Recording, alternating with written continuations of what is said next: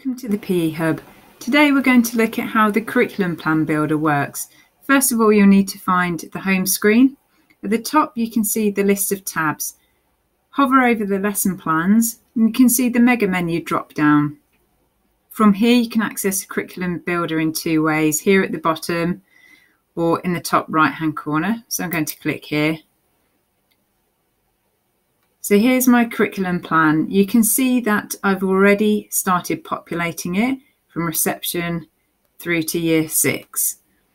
I've left a couple of um, sections open, summer term two, so we can look at how the plan works. The drop down menu appears when you click on the cross. And I would like to populate this with speed agility travel unit two. Once I've put that in there, I must make sure that I click save after any changes. This save means that when I navigate away from the page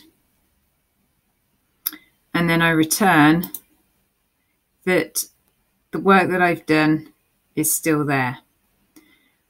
What we might want to do as well is at the end of reception, I've decided um, my pupils are making better progress. So we're going to have a go at a year one unit.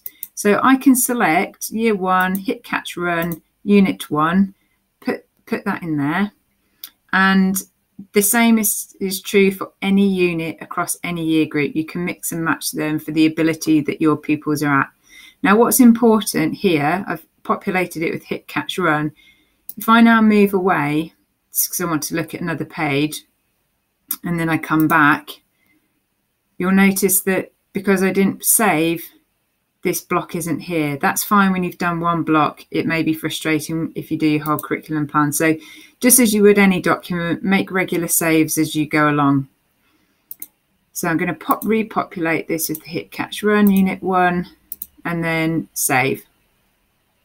To share this with the rest of my staff, I can scroll down and can print the page.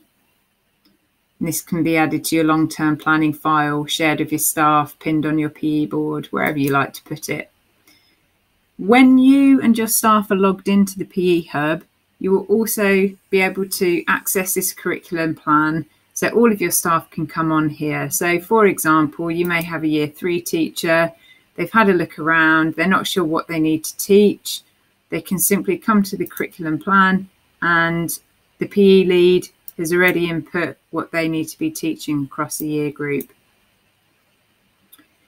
The main call outs from this is to ensure that you save and take your time to have a look around the different units of work and see what will work best for your pupils. The PE lead may design your curriculum plan or the individual teachers for their year group. Please share this video with anybody that would like to use the curriculum plan to map out their long-term agenda for PE. Thanks for watching.